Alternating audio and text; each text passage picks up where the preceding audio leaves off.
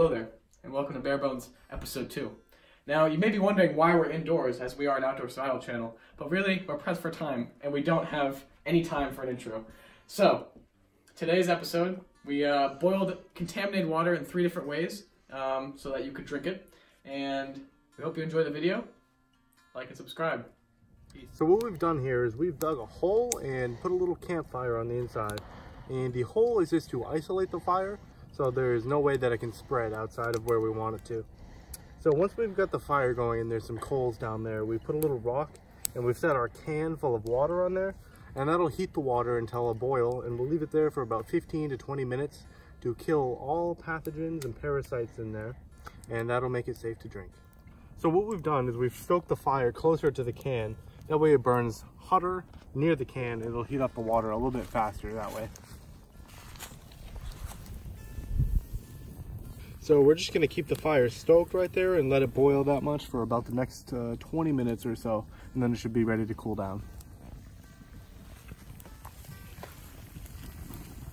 So the second method to boiling water for sanitation is with a plastic bottle just like this.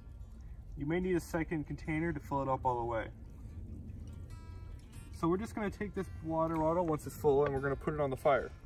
And you might think that the plastic would melt, but the water's boiling point is higher than the plastic's melting point, and the water will absorb all the heat before the plastic gets a chance to melt. So now we take our plastic bottle full of river water, we're gonna place it right in the middle of the fire there, in the hot coals. And you do not wanna put the cap on, because the pressure will build up inside the bottle and it may explode. Now we're going to leave it there for 15 to 20 minutes while it's boiling and that will hopefully kill all, all of the pathogens. Our last method that we have for boiling water is using hot stones. So now you might not have a big enough fire just to, you know, do the water by itself. Stones, they conduct heat very well. They hold heat very well. So you take a stone, put it on in.